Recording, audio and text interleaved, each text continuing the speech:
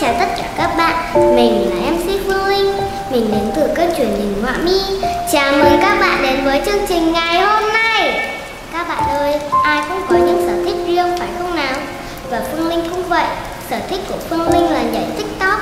Còn các bạn thì sao? Sở thích của các bạn là gì? Hãy chia sẻ cho Phương Linh cùng biết nhé. Và bây giờ, thời lượng của chương trình đến đây là kết thúc rồi. Xin chào